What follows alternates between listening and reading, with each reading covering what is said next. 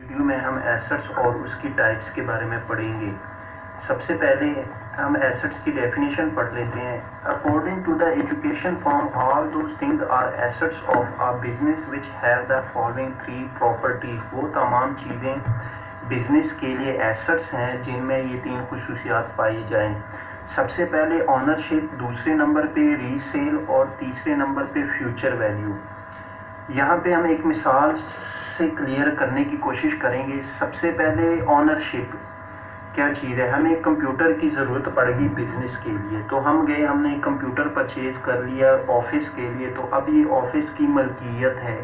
اسی طرح ری سیل ری سیل سے مراد ہے کہ آپ نے یوز شدہ چیز کو سیل کرنا، بیچنا، فروخت کرنا۔ اسی طرح آپ نے جو کمپیوٹر پرچیز کیا ہے، اب اس کو آپ اگر بیچنا چاہے تو بیچ سکتے ہیں، کیونکہ یہ بزنس کی ملکیت ہے آنرشپ ہے۔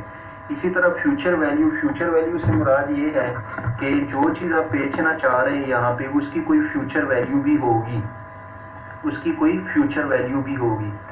اور ٹائپس آف ایسٹس میں دو چیزیں آتی ہیں، دو ٹائپس ہیں فرسٹ کرنٹ ایسٹ اور second fixed asset current assets are those assets whose life one year or less than one year and easily convertible into cash.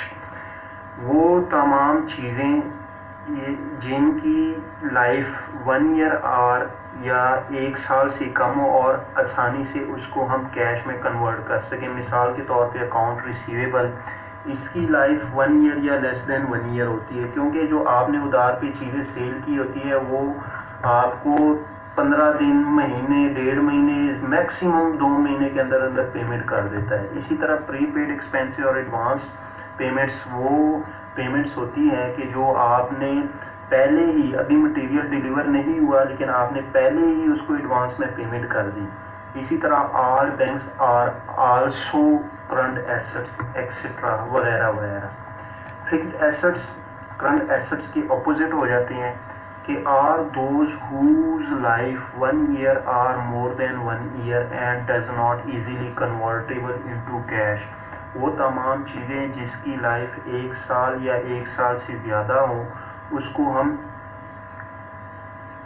Fixed asset کہتے ہیں اور اس کو ہم آسانی سے کیش میں کنورٹ نہیں کر سکتے۔ مثال کے طور پہ building furniture car computer extra یہ سارے کے سارے فکسڈ ایسٹ کہلاتے ہیں اور ان ایسٹس کو ہم بیلنس شیٹ میں جا کے ایسٹ سائڈ پہ لکھتے ہیں